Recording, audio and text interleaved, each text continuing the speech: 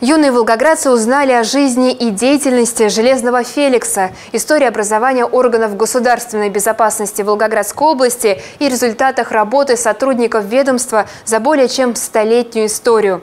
Сотрудники регионального управления Федеральной службы безопасности Российской Федерации провели экскурсию для членов отряда «Юные друзья пограничников» гимназии номер 7 Красноармейского района. Экскурсию организовали по инициативе сотрудников и ветеранов управления, а также пограничного управления ФСБ России по региону. Ее приурочили к 145-летию со дня рождения основателя советских спецслужб Феликса Дзержинского. В ходе экскурсии школьники узнали о жизни и деятельности одного из рыцарей Октябрьской революции и результатах работы сотрудников управления за более чем вековой период существования, о подвигах чекистов в годы войны и на современном этапе. Юноши и девушки ознакомились с документами, оружием, личными вещами, наградами чекистов. Все эти архивные материалы раскрывают деятельность сотрудников органов госбезопасности.